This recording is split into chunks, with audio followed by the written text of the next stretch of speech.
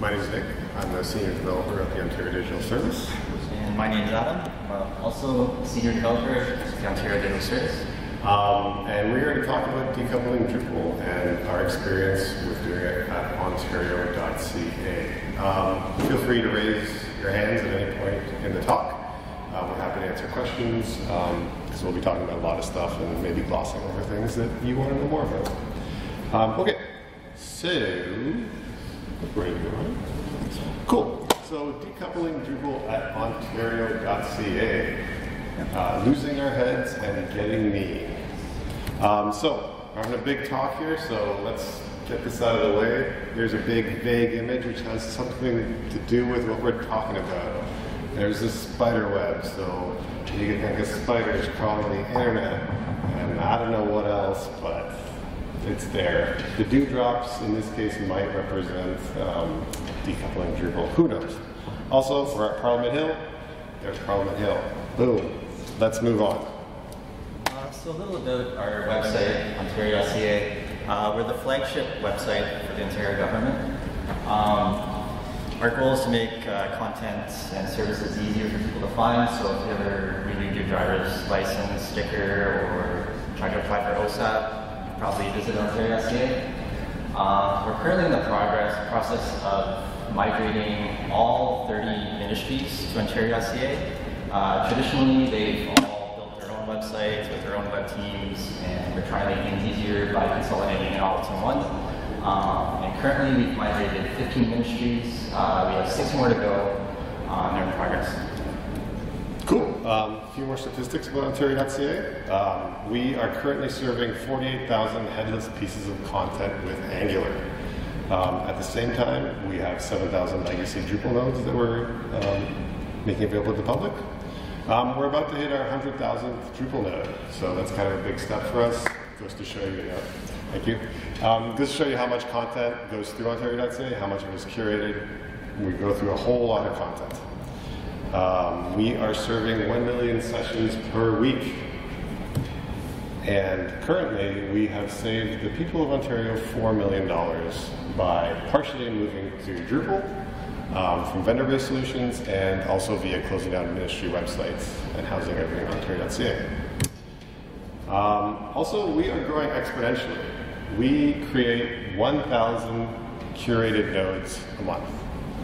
Um, so those are pages, books, FAQs, all sorts of different stuff that lives on Ontario.ca. We churn out content like crazy. Um, part of it is because we are bringing over all the ministries to Ontario.ca, and part of it is because of AODA compliance. So government websites love throwing up PDFs. PDFs are not very accessible, so we're turning them all into HTML. Um, but yeah, so I, I, just found out that stat. I found it kind of amazing. Uh, so a little bit of history on Ontario.ca. Uh, before coming to Drupal, we were actually a Oracle shop, uh, 10 Um, that contract came to an end. It was a very long contract, and we started looking at other vendors. Uh, and there was actually a small group of us that was interested in open source, and Drupal was the best open source content management system we had so we prototyped it, and uh, at that time, Drupal 7 just came out, so we did it in Drupal 6. Um, it was a success, so we got the green light to produce the real deal. And uh, 2012, we launched Ontario.ca in Drupal 7. Um, we started to run into some performance issues on the front end, and uh, part of that is our own fault. Uh, we coded the theme correctly, uh, things like that. And uh, started looking at other options, uh, and running headless seemed like a very promising avenue to take. Uh, so in 2013, we started chopping off the front end slowly. Uh, we started serving content type by content type from Angular. Um, yeah, um, so why did we, or sorry, let's just back up and say, what is headless Drupal? I think we all know, but there's a slide here for it, so let's talk about it. Um, so typically, your front end is housed in Drupal, so Drupal is in charge of housing all your content and serving it to the public via the front end. Um, decoupled Drupal or headless Drupal looks something like this. So there's a front end that sits on top of an API that talks to Drupal. Um, the front end is usually a JavaScript base. In our case, we used AngularJS. Um, and uh, there's RESTful API, and then that talks to Drupal. Um, there's also a Mongo layer in there. Uh, why did we want to decouple? Uh, well, we wanted to improve scaling and security uh, by separating the contribution and user concerns. Um, so, our users visit the Angular side, our contribution team visits the Drupal side. Uh, we wanted to improve page load times. So uh, we wanted to reduce the server load and the number of requests. We wanted to move rendering to the client side. And we wanted more efficient templating. Adam hinted at this before. Um, we sort of jumped into Drupal, uh, Drupal 7 pretty early, and if you're on, on, any, on any big projects like this, you might have developers who don't follow best practices. Big projects, those, that code just kind of remains there, it's spaghetti code. So we had pretty bad templates by some point in 2013, full of SQL queries, variables named X, weird things which uh, basically kept our UX team from wanting to use our templates and also made our templates very inefficient. Um, we wanted to embrace new technologies, so everyone started talking about uh, JavaScript-based frameworks. We didn't want to be left behind.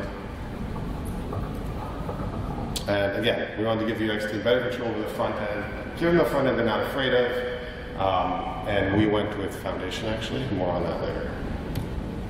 Um, so our implementation of, of this Drupal sort of looks like this. We have a traditional LAMP stack, uh, I guess minus Apache Bees and and we have a mean stack, which serves as our API. Uh, we use Elasticsearch search engine, it's JavaScript based, it works very well with uh, uh, the mean stack being JavaScript, and we used uh, Foundation for the front end styling and uh, sort of layouts, uh, mainly because it's uh, very accessible and responsive. Um, so a little bit of a detailed look under the hood of Ontario.ca. Um, so if we look up at the top, we have the normal sort of editor flow where uh, editors enter content through the node add form. Um, that's stored in the, in the MySQL database, uh, nothing special there. Um, the only thing that's different is that whenever an editor saves a node or an entity, it's uh, it goes through our shadow model, which is a custom in-house model that we developed, which basically takes a Drupal entity, converts it into JSON, and sends it to uh, a RESTful API. Um, that in turn is served through Angular. Angular serves uh, connects to that API and does the client-side rendering. Um, and because we didn't immediately jump onto the mean stack, we sort of kept both feet in both waters as we transitioned. We still serve the legacy Drupal PHP pages um, for the ones we haven't migrated yet. Um, so a little bit of our decoupling strategy. Uh, so as Adam hinted earlier, um, we leveraged the mean shadow module. Um, later on, we customized it, and then eventually Adam ended up writing his own. Um, the partial reason for that was basically PHP memory leaks and a few other things. It was very inefficient, um, especially for the amount of content that we generate. Um, we implemented a node-based REST API, um, again using MongoDB. Um, and we transitioned, to Angular and Foundation uh, content type by content type um, uh, and following our information architecture, so our taxonomy. And the way we did this is we did it via Nginx uh, and page routing. So with every new piece of content that we moved to Angular, um, we gave it a new page alias, and then there's an Nginx rule to direct page aliases with this pattern to Angular and with a different pattern to Drupal. Cool. Um, so a little bit about our successes. It works. That's the big one. Um, page load times are down to under a second. In fact, it was such a big turnaround from Drupal that we forgot to turn on caching. We didn't even notice. It was so good. Um, our servers and uh, our DevOps team are much happier not having to restart PHP FPM every day, computer never leaks, and CPUs being pegged at 100%. Yep.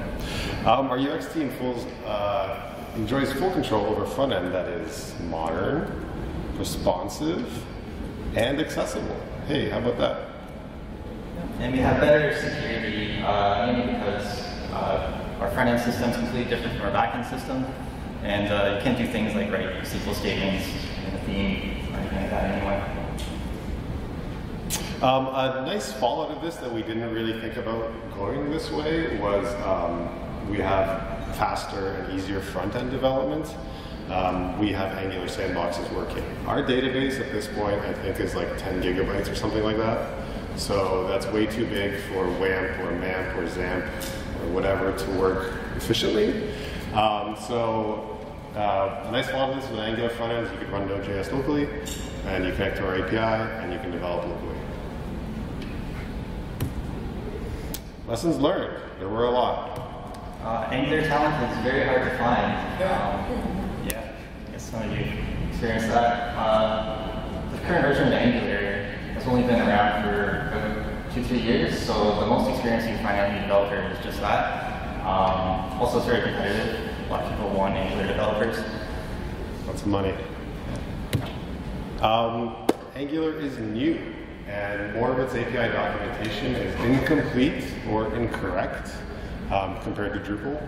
Uh, API.drupal.org is great, it gives you a lot of information. I've come across Angular documentation that is out of date that says something will not work, then does work, or something won't, or the opposite around, something will work and it won't work. Which version of Angular are you on? Are you on?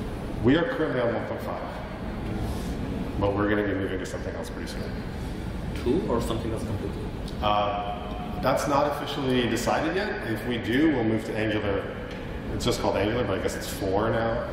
Um, or Vue or React. Um, we have to make some business decisions, and uh, depending on what kind of developers we hire, maybe. Um, we may have done this a bit too early. Uh, we jumped on this in 2013, so at that time it was just Angular version 1 and Drupal 7. Uh, if we did this today with Drupal 8 being an API first content management system and a newer version of Angular being completely rewritten, uh, things would be a lot easier and our uh, architecture would be a lot more simplistic. Um, an interesting fallout that wasn't thought of when we went to this is uh, we lost certain features that were we didn't even think of, like in-page editing. You know that edit tab that appears on the node. What a lovely thing! It's gone if you build uh, front-end architecture on top of it. Um, you lose preview as well. So we had to create more complicated contributor workflows. Adam had had to write several new modules to allow people to preview content and to share content. Um, so interesting thing that fell out there. And it's uh, difficult to manage two different stacks as we Yeah, um, another interesting thing that came out of this is uh, we realized that uh, the data layer or data model became pretty abstracted. Um, if you're working in Drupal and you're developing in Drupal, it's pretty obvious that field, what a field might do or how a field might, um, uh, you know, the functionality of a field that is intended for a field or how it works in another field. Once that goes through um, an API and once that ends up on an Angular developer's desk, he may know nothing about this. And so then he's back at square one and he's building something and you're like, why are you building it this way? And he's like, I don't know. So interesting thing that came out of there. And the experienced a lot of repetition of business logic, uh, both in Drupal and the mean stack, and then sometimes again in Angular. Yeah, uh, another interesting thing is that we have one form on Ontario.ca currently. It is a contact form. And to get that form to work properly with our Drupal stack is a little complicated. If your site has a lot of forms or if you require information to go both ways, I would seriously have concerns about chopping off the front end. So, should you decouple? Yes. Uh, so Dries posted a, on his blog a chart that might help uh, you decide if you want to go this or not. Um, basically, you have to ask yourself, are you willing to give up everything here in, in this big box? And uh, if you're not willing to give it up, are you prepared to build it out yourself? And if the answer is still no, then perhaps staying coupled might be a better avenue, or at least quicker. Um, Yeah, so that's stuff like previewing, editing, all these things. There actually was an article posted by Lullabot like two days ago, which talks about a lot of this stuff, like what you'll lose if you decouple, and are you ready to build it out yourself? Um, we have a few next steps for Ontario.ca we want to share with you. Um, we're going to upgrade to Drupal 8. Uh, Drupal 8 uh, puts the API first, or you can put the API first, a lot easier. Um, doing Drupal 8 is going to be awesome. Um, it's I don't know. Okay, cool. Um, we're going to reevaluate the need for a shadow module. Um, again, we're like, uh, with the services API, you can expose endpoints and create JSON output very easily. Um, we may not actually need a shadow module that Adam spent a very long time building. I'm the biggest advocate of getting rid of it. Um, we're going to upgrade uh, the front end to Angular 4, maybe Vue, maybe React. Um, we're going to possibly leverage the reservoir distribution. I'm not sure if you guys know about this, but it's a, it's a particular Git repo um, that has a whole bunch of modules uh, that are meant for decoupled Drupal already bundled into it and has the theming layer chopped off. So it seems like a really great place to start with headless Drupal. Um, we're going to leverage Drupal VM a whole lot more. Uh, I'm not sure if anyone here has played with this, uh, but it's really, really awesome. And again, a great way to not have to bother with WAMP, XAMPP. Which one am I forgetting? MAMP, all those things. Um, and microservices. We're going to expand uh, on microservices quite significantly. You want to say something about this? Uh, No. All right. Um, all right. Thank you. Any questions? Oh, there's one right there. How did you guys handle SEO since like it was a client-side rendered? Like how could Google index your pages? Okay, so this is really awesome. This is something that we lost again without thinking about it. Um, so uh, we used the meta tags module in Drupal. Um, so that worked to create great meta tags for Drupal in Drupal. We had to rewrite this. We had to add this to the shadow module. So all our meta tags then got shadowed. And then we basically rebuilt meta tags in Angular. Like we had to build a whole service around it. Yeah. So if you look at Ontario.ca in the store in the console, you'll see these things called Angular meta tags. They're mapped to each other. It was a whole thing. Um, on top of that, because it, it was a JavaScript framework, um, we had to write special rules for the bots to be redirected to our contrib interface. You know, it's a whole, whole thing that we lost without even thinking about it. Along the same lines of with the JavaScript totally front end uh, and having to be accessible to your government. Yep. Did you have to do server-side rendering for any clients, or was there zero complaints that, that you were JavaScript on? Uh, I don't have any complaints for being JavaScript only. No, no, screen readers are pretty smart right now. Um, No problem whatsoever with JavaScript as long as it's not doing dumb things. yeah. Yeah, I didn't attend the talk earlier about Java. Don't blame JavaScript for accessibility woes, but maybe they talked about this a little bit. Um, we have a pretty great UX team, and so it was really they did a really great job of making sure that we're pretty accessible. Um, from another talk today, I did run the audit on one of our pages, and we had a 92% score on accessibility, so I think that's pretty good. So, so that's interesting, because the, the answer to SEO sometimes is do server-side rendering so people can actually just, just parse your page. Yeah.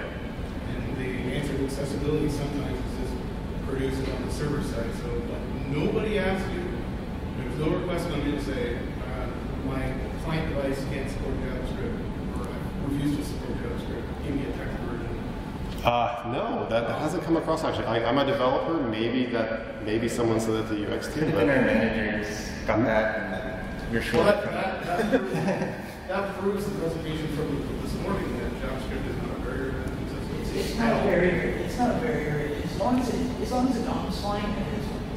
Yeah, we. I know we spent a lot of time again, like, um, and this might be like an Ajax thing again. If you refresh certain pages, you have to put the focus on that page. Um, so there's special tags that do that. That you know, it's like the, what's the main part of your page. Um, that's challenging sometimes, but uh, yeah, that's it. Yeah. Uh, Would it be a good idea to uh, design the, which pages gets through Drupal directly and which pages are using uh, uh, are using Node from Uh, Angular. Angular? Because uh, maybe some pages are complicated, like the forms, and the others maybe uh, you want to use Angular because uh, there's a lot of traffic on those pages. Or the other Um, so our plan currently is just to migrate everything to Angular. Uh, the reason why we have some still in is we just haven't gotten to migrating those yet. But the, to your point, um, some of the more complicated pages we haven't had a chance to migrate yet. For example, we're having a few issues with Google Maps um, because it's asynchronous and sometimes it'll load faster. And, and with content on Ontario.ca, some of it's been there for since 2012 when we started uh, with Drupal 7. Um, so the funny thing is that those contents, depending on when they were created, use a different version of Google Maps that require different parameters to be passed. And it's it's pretty complicated. So yeah, so those actually are Google Map. A lot of our Google Maps pages are served by Drupal for that reason. Um, and the only other piece of content that we make sure is served by Drupal is web forms. Um, again, because there's the two-way binding there necessary. Um, you know, web forms are great in Drupal. You want to create a radio button, you just say radio button and it draws it. Are you ready to redo that for every kind of web form element you have in Angular? We actually had a developer get pretty far down down that rabbit hole, but then he left. so, so maybe that was the thing that, that broke the canvas back. Yep. What does your server stack look like? Is Node a single threaded, right? Yep. Yeah. Sorry, what was the question? So like, are you running multiple node instances, or how are you load balancing? Like, Uh, I believe we have uh, two EC2 instances running Node. okay, Yeah. Uh, they auto scale as well, so uh, okay, days that we get a lot of traffic, it scales horizontally. okay. Yeah, I was wondering about your choice of uh, Drupal VM versus Docker from Drupal. Not everything before I think it's one. So uh, we're actually using both at the moment.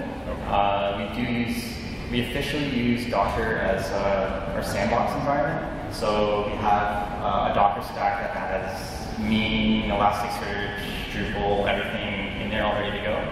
And uh, Drupal VM is something new that we're experimenting with for Drupal 8. Yeah, we found that um, with the Docker stack, we're relying a lot on our DevOps environment. Um, they're the ones that maintain our sandboxes, and you know, there's a huge database that goes with it. There's these stacks that go with it. So we wanted to give DevOps a bit of a break, especially for starting up projects.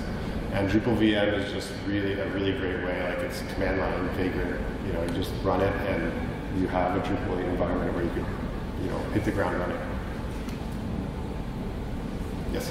So uh, why did you pick Angular and not some of the other JavaScript frameworks like Ember?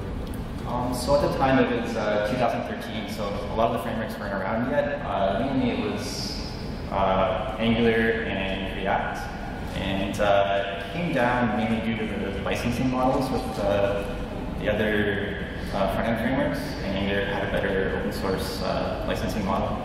Yeah, also supported by Google, so we were just More like, stable? Yeah. so we were just betting on Google, I think, a little bit. Yeah, but we weren't entirely sure. We weren't super committed to it. We, we just thought, okay, this is there's a lot of JavaScript frameworks coming up, and uh, this one looks like it's taking off. Yeah, and e- even now there's a lot of comparisons of the frameworks. Like there was one that said like you know 90% of Vue users are really happy using Vue, and 50% of Angular users are happy using Angular, and that has some weight to it. But Angular is still, I think, like more robust in terms of its modularity than Vue is. Um, but we have to evaluate all that. Like this is our 2.0 version of Ontario, I'd say, is going to be crazy good. Just got to figure out to do. Any more questions? Okay, so before we leave you, we just want to introduce you to the Ontario Digital Service. Um, the ODS is a new government service that will work with ministries, agencies, and external partners to develop a digital government action plan. That's the official verbiage they use. Um, as part of the ODS, we have a new chief digital officer in Ontario. Her name is Hillary Hartley. You may have heard her on the radio or seen her on TV. Uh, there's a big publicity campaign behind that. She is going to be, quote unquote, our ship umbrella help us get stuff done. to get stuff done at Ontario and not let the bureaucracy get in the way. Um, more on that in a sec. Um, the ODS is going to be modeled after gov.uk and 18F, which is uh, US equivalent of gov.uk. Um, and literally, we're going to be modeled after them because we are working with people from gov.uk and 18F. Hillary Hartley is from 18F. Um, if you remember the keynote this morning um, from the federal government, you know they mentioned that they're desperately trying to catch up on the digital divide. Um, they're talking about agile, open source, um, and they're desperate to get there. We are there at this point. Um, the ODS, I, for example, am actually working on an alpha project for the Ontario government. Um, partially that's because of the people I'm working with had $2 million, $2 million of funding pulled away from them. But I think they're also coming around to this idea of alphas and betas not delivering a huge monolithic vendor-driven solution at the end. Um, Adam is working agile. He's building microservices. So AAA installations, little pieces coming together. Um, agile, open source. Ontario government is already there. And so on that note, Uh, so we're looking for people.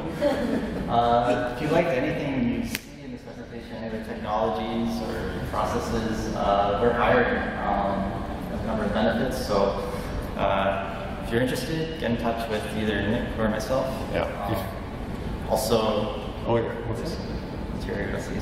Oh yeah. Oh, and, and if you like Nerf gun wars, that's great. If you don't, that's also great. I particularly don't like them. I like to hide when they go on. But yeah, go to ontario.ca slash digital jobs and sign up for job alerts. Um, current rumor around the office is we're 30 positions short of where we should be. Oh wow. Um, but that's partially because the jobs haven't been posted. The jobs are going to be posted shortly. Come join us. It's really fun. Thanks.